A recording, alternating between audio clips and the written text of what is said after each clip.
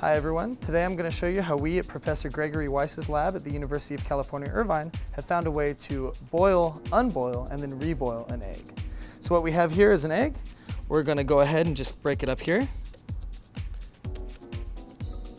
We're going to collect the egg white.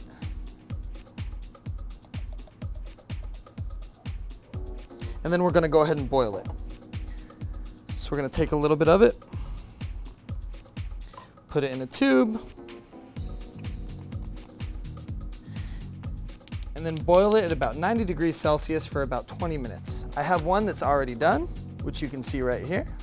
So what we do now is we take this egg white and dissolve it in a chemical called urea.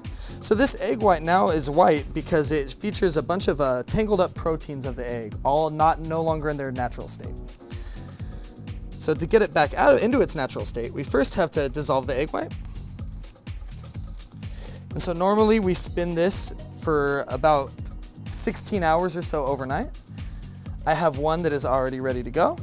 So you can see the egg white is a little bit uh, dissolved in there and the solution looks cloudy.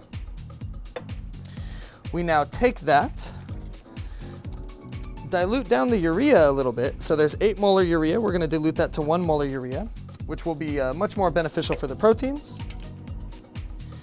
And then once we do that, we are ready to refold our protein. So we now take our dissolved egg whites into this machine here. It's called the Vortex Fluid Device. This machine was developed by our collaborators in Australia, Dr. Colin Raston at Flinders University. The way the instrument works is it spins at a certain degree and certain speed. The egg white creates this thin film, or the egg protein makes a thin film along the tube, stretching out those proteins, giving them another chance to properly refold. This process is not necessarily important for the egg proteins, but is more relevant with cancerous proteins and proteins associated with other, other diseases in which we could use this therapeutically. So we spin the egg whites for five minutes at 5,000 RPM. So after our five minutes are up, we take the egg out of the device and now we're gonna fry it up and show you that we can reboil it again. So now once our egg is done, we go ahead and suck it up with this pipette, and then bam, boil it back on the hot plate.